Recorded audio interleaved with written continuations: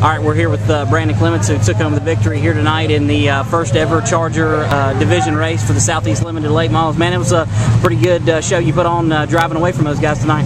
Yeah, well, we had a really fast car all day. Kind of messed up in qualifying, qualified outside pole, but really never took it off cruise control. All right. Well, uh, are you planning on running all these races, or you just staying local here? We're probably going to run the Myrtle Beach race and the Dillon race in the pro, and probably the, another race here in the pro. All right, man. Thank you.